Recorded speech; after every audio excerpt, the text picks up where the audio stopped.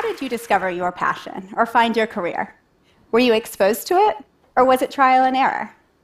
As child rights advocate Marian Wright Edelman said, You can't be what you can't see. Fortunately, we now live in a time when emerging technologies may help us to solve this problem. For the past two years, I've been developing an extended reality program that enables middle school students from across the country to take on the role of a marine biologist, even if they've never seen the ocean. As one seventh grader who recently completed our program said, I could see myself as a scientist because I enjoyed this game. This feedback really excited me because too few students do see themselves as scientists. A 2014 study showed that 57% of 8th and ninth grade students said, Science isn't me. Coincidentally, also in 2014, I met Mandy Holford, a marine biochemist, and Lindsay Portnoy, an educational psychologist. The three of us shared a passion for getting students excited by and comfortable with science. We thought about how we could give children the most realistic experience of a scientific career. We discussed re- the research that showed that students felt comfortable taking risks when playing games. So, the three of us started an educational games company to bring science to life. Virtual reality seemed like a low cost way of increasing access. In addition, academic research has shown that virtual reality may lead to increases in learning retention. This was perfect for us as we wanted to be in schools so that we could reach the most number of students possible, particularly students who have been underrepresented in science. So, with funding from the National Science Foundation, we began developing our extended reality program that combined virtual reality with personalized digital journaling. We worked with teachers while developing it to ensure that it would fit seamlessly into existing curricula and empower teachers to use cutting edge technology in their classroom. We designed the virtual reality for Google Cardboard, which requires only a smartphone and a $10 VR viewer made of cardboard. With this inexpensive headset, students are transported to an underwater expedition. Students use their digital journal to write down their notes, to answer questions, to construct models, and to develop hypotheses. Students then go to the virtual world to test their hypotheses and see if they're accurate, much as scientists go to the field their, in their careers.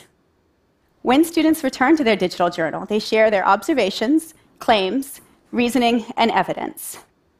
The students' written answers and virtual interactions are all updated live at an educator assessment dashboard so that teachers can follow their progress and support them if as needed. To give you a better sense, I'm going to show you a little bit of what students see. This is the virtual reality when they're underwater observing the flora and fauna.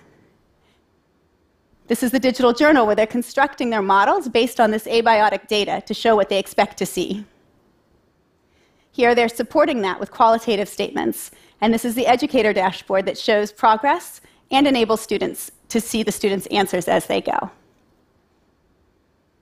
When we were creating BioDive, again, we really wanted to focus on access, so we designed it to require only one phone for every four students. We also knew how collaborative science work is. So we constructed the experience to only be solved through collaborative teamwork, as each student is an expert in a different geographic location. Given that these children's brains are still developing, we limited each experience to last a maximum of two minutes. And finally, because we know the importance of repeated exposure for internalizing knowledge, we constructed BioDive to take place over five class periods. We started piloting BioDive in 2017 in 20 schools in New York and New Jersey. We wanted to see students as they were using this new technology. In 2019, now, we are now, uh, we are now piloting in 26 states.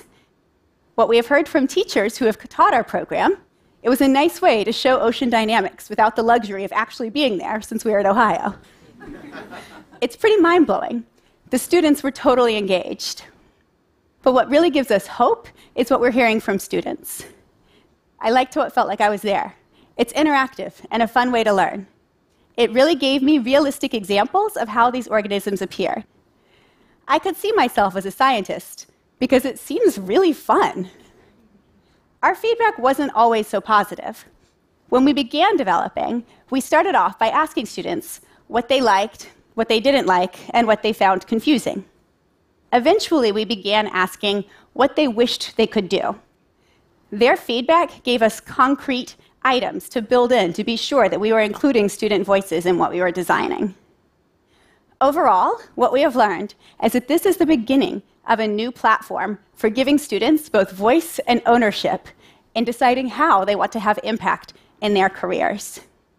We focused on science because we know we need scientists to help us solve our current and future challenges. But virtual reality could support students in any area. How could we support students in exploring all of their desires with these eye opening experiences and chances to learn from primary sources? Could we create VR for inexpensive headsets that lets them be immersed in oral literature or in critical moments of human history? Extended reality has the potential to change the trajectory of our children's lives and lead them to careers they never imagined by giving them the chance to see what they can be. Thank you.